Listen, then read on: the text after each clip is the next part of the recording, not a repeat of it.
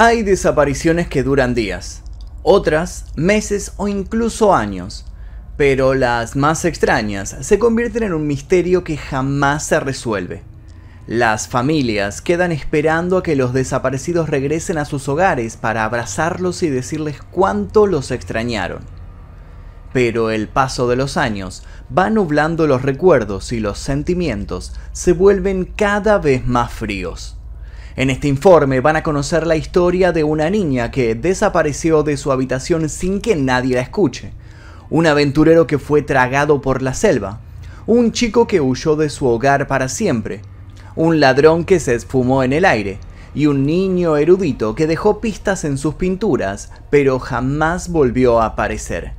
Antes de comenzar con este video les pido por favor que dejen su like aquí debajo, se suscriban si todavía no lo hicieron y activen notificaciones. Les recuerdo que pueden ver este y todos los demás videos sin censura, sin publicidad de 24 horas antes que el resto, tocando el botón que dice unirse aquí debajo, eligiendo la membresía nombre 2 Maestro Oscuro y luego dirigiéndose a la pestaña comunidad donde van a encontrar la lista completa. Ahora sí, comencemos. Bienvenidos a las 5 desapariciones más misteriosas. Número 5. Asha Degree. Asha Degree tenía solo 9 años y vivía con su familia en Shelby, Carolina del Norte.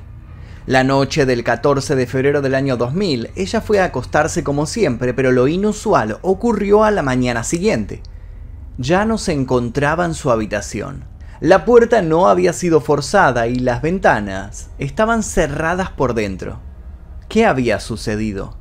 Los padres de Aya siempre intentaban aislar a sus hijos de las influencias externas, tratando de centrar la vida en la familia, el estudio y por sobre todo en la iglesia. En su hogar no existían las computadoras, ya que tenían miedo de que los pedófilos entraran en contacto con sus hijos. Aya no tenía problemas con estos límites, era tímida y le gustaba estar dentro de su hogar. El día anterior a la desaparición, la familia había asistido a la iglesia en Macedonia Missionary Baptist Church, luego almorzaron y volvieron a su casa. El padre se dirigió a su segundo turno en la planta cercana de PPG Industries por la tarde. Alrededor de las 8 de la noche, los hijos se acostaron en la habitación que compartían. Todo era normal. Casi una hora después, se cortó la luz en el barrio y fue restaurado cuando el hombre regresaba del trabajo, alrededor de las 0.30 de la noche. En ese momento, pasó por la habitación de sus hijos y los vio ambos dormidos en sus respectivas camas. Al día siguiente, el 14 de febrero, día de los enamorados, la madre se despertó a las 5.45 am para preparar a los niños para ir a la escuela. Cuando abrió la puerta de la habitación, Aya no estaba. Ella nunca se levantaba antes. La buscó por los diferentes cuartos de la casa sin poder encontrarla. Comenzó a desesperarse. Salió a la vereda, buscó en el auto de la familia, pero se encontraba cerrado. No había nadie en ningún lugar. Entró y despertó a su marido para decirle que Aya había desaparecido. Harold le preguntó si había llamado a su madre, que vivía cerca. Tal vez podría estar ahí. Cuando llamó, su cuñada respondió que Aya no se encontraba ahí. Fue entonces cuando entró en pánico. Llamó a la policía, se puso los zapatos y salió a buscarla. Entre las 3.45 y las 4.15 de la madrugada, un camionero y un automovilista confirmaron haber visto una niña caminando hacia el sur por la autopista 18 con una mochila escolar. También detallaron en sus declaraciones que estaba vestida con una camiseta blanca de manga larga y pantalones también blancos. Cuando vieron las noticias en televisión sobre la búsqueda y la desaparición, informaron lo que habían visto a la policía.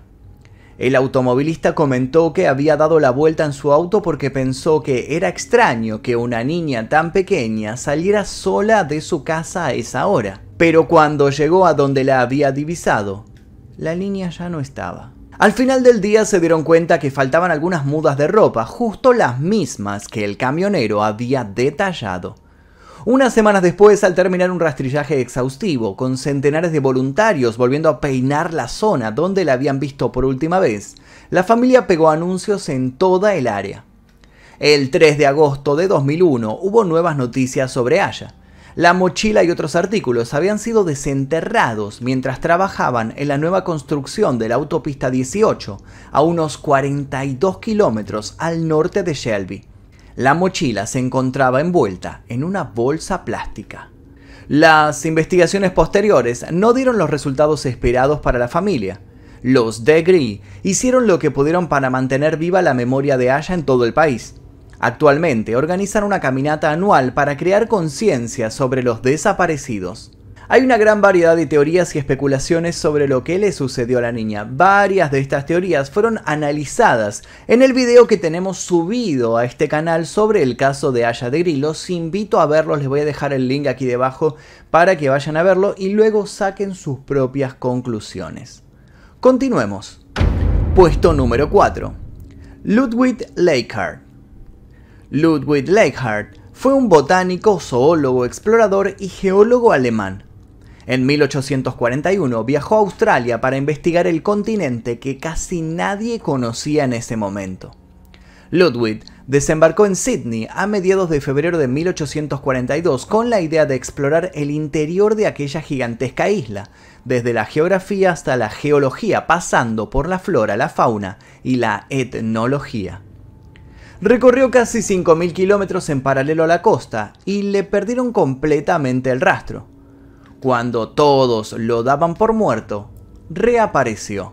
Se convirtió en todo un héroe. En su viaje localizó importantes yacimientos de carbón, lo que significó una excelente oportunidad para las empresas dedicadas a la explotación de este material. Ante un prestigio bien ganado, buscó nuevos patrocinadores privados que financiaran otro viaje al interior del país. Así fue como partió de Darling Downs en diciembre de 1846, pero una serie de lluvias torrenciales más una epidemia de malaria entre sus hombres lo obligaron a regresar a los pocos meses.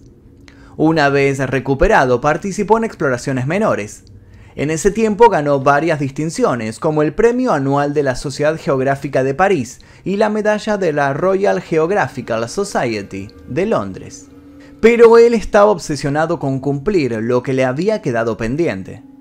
En la primavera de 1848 se puso en marcha al frente de un segundo intento de concretar el viaje anterior. Le acompañaban cuatro europeos y dos guías aborígenes. Llevaba una larga caravana de siete caballos, una veintena de mulas y medio centenar de bueyes, todo apoyado económicamente por un comerciante de Sydney. Su objetivo era abrir una ruta que atravesara el continente. La idea era seguir los cursos fluviales.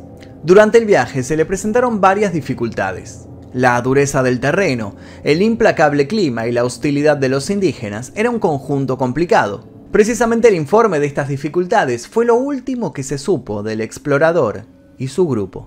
Se calculaba que el recorrido les llevaría dos o tres años, pero cuando pasó el tiempo pautado y nada se supo de ellos, quedó claro que algo no andaba bien. Una década después se organizó otra expedición al mando de otro famoso explorador llamado Augustus Charles Gregory, que había recorrido rutas parecidas a las de Leichhardt.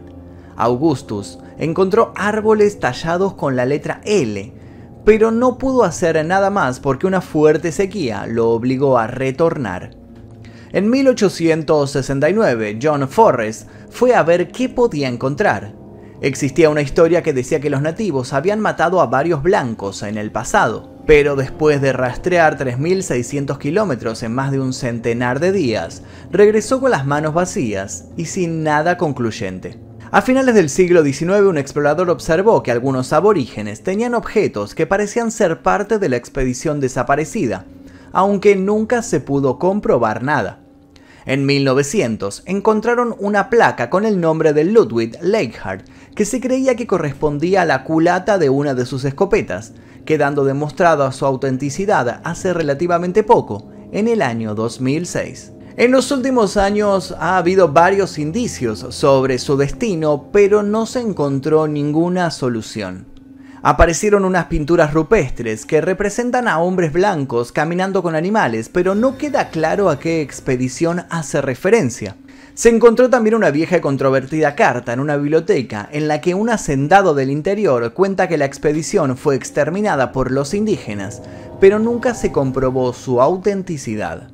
La realidad es que existen varias hipótesis, pero ninguna verdad. ¿Qué creen que le sucedió a Leijar y sus compañeros? Los invito a dejar sus comentarios, aquí debajo voy a estar leyendo todas sus teorías. Continuemos. Puesto número 3. D.V. Cooper.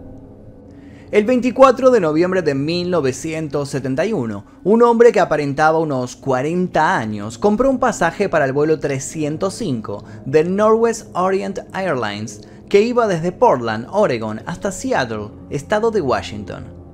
El nombre que usó para abordar el avión fue Dan Cooper. Luego se le asociaron las iniciales DV, o sea, DB. Obviamente este nombre era falso. Una vez que el avión despegó, Cooper ordenó a una de las azafatas un borbón con soda y hielo. Cuando le llegó la bebida, este le entregó una nota. Ella no le dio importancia porque pensaba que la estaba tratando de coquetear. Al ver que no la leía, se le acercó y le dijo al oído que tenía una bomba en su maletín. Cuando tuvo su atención, él abrió el maletín para mostrarle varios cables de colores, una batería y lo peor de todo, varios cilindros rojos que parecían ser explosivos. Entonces, D.B. Cooper volvió a llamarla para hacerle otro pedido. La azafata cumplió la orden y fue hasta la cabina para pedir cuatro paracaídas y 200 mil dólares en billetes de 20 a la torre de control. El intercambio sería por la vida de los pasajeros. El avión sobrevoló cerca de Seattle para que juntaran el dinero. Los agentes del FBI siguieron las instrucciones de no utilizar billetes marcados, pero sí decidieron usar billetes impresos principalmente en 1969, ya que los números de serie empezaban con la letra L.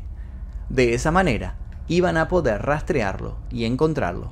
Al llegar a Seattle, Cooper recibió lo que había pedido y cumplió su parte del acuerdo, liberando a los 36 pasajeros. Volvieron a cargar combustible y el avión despegó. Esta vez, teóricamente, hasta México. Estuvieron nuevamente en el aire a los minutos y detrás de ellos, unos aviones caza F-106 comenzaron a seguirlos. Momentos más tarde, en la cabina, la tripulación observó una luz intermitente que indicaba que intentaban abrir la puerta trasera de la aeronave. También notaron un cambio de presión en la cabina. Cooper había abierto la puerta trasera para saltar del avión.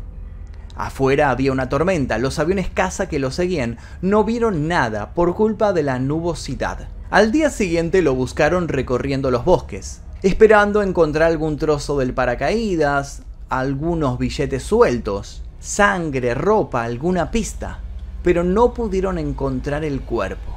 Muchos especialistas afirmaron que los vientos eran de más de 322 km por hora, y el paracaídas que le habían entregado no era bueno para este tipo de maniobras. El bosque no iba a poder amortiguar su caída. Durante años siguieron cientos de pistas, entrevistaron a decenas de personas, recibieron miles de cartas y llamados telefónicos.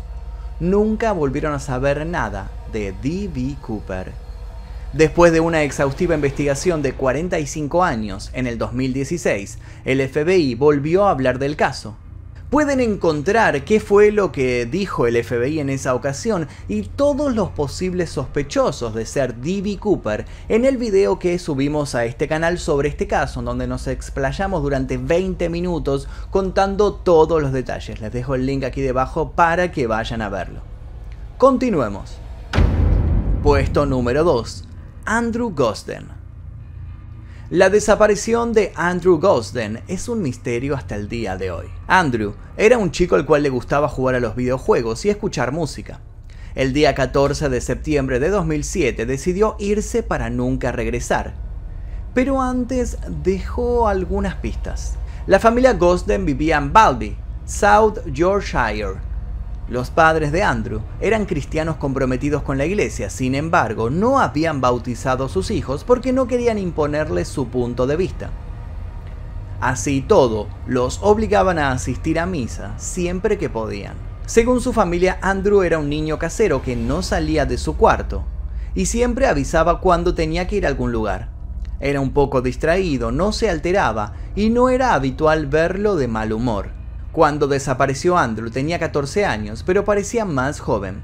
Usaba lentes gruesos, de aumento, era sordo de un oído y una de las particularidades físicas que la familia mostró hasta el cansancio a la hora de buscarlo fue la doble cresta que tenía en su oreja derecha.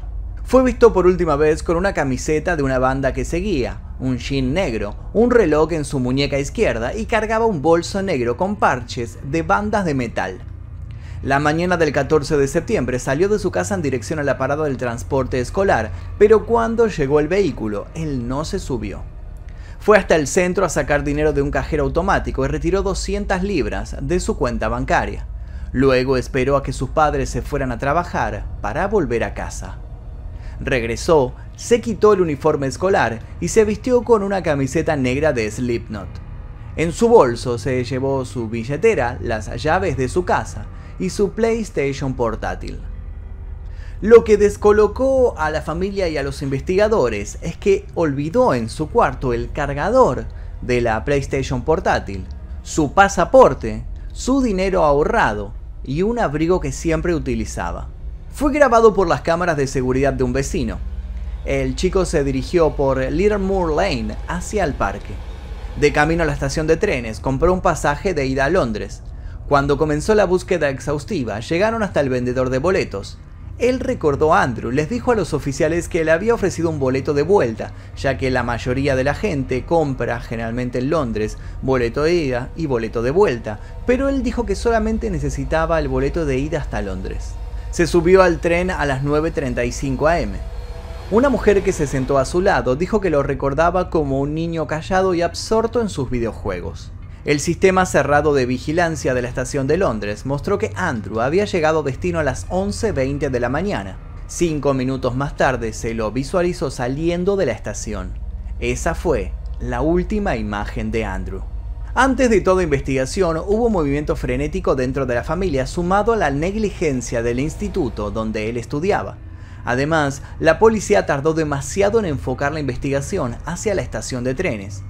Tres días después se enteraron que Andrew había tomado un tren a Londres. En 72 horas podría haber pasado cualquier cosa.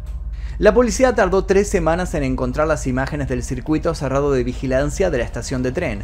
Todo marchaba mal en la investigación. A lo largo de los años llegaron llamados a la policía con docenas de pistas, pero ninguno habría llevado al descubrimiento del paradero de Andrew. Hay muchas teorías y varias posibles explicaciones que damos en el video que se encuentra subido en este canal sobre este caso. En este video analizamos durante más de 20 minutos todas las teorías, todas las posibles explicaciones y qué podría haber sucedido con Andrew. Los invito a verlo luego de finalizar este top. Ahora sí, continuemos. Puesto número 1. David Guerrero Guevara. Interpol define la desaparición de David Guerrero Guevara como una de las más desconcertantes. El caso del chico pintor es todo una incógnita. El 6 de abril de 1987, un niño de 13 años salió del portal de su casa en Málaga y su madre lo despidió desde la ventana de la cocina mientras lo veía alejarse entre las casas vecinas. Ella estaba orgullosa de su pequeño, por sus cualidades artísticas. Eran las seis y media de la tarde y David iba a subirse al autobús para juntarse con un periodista que quería entrevistarlo por su arte.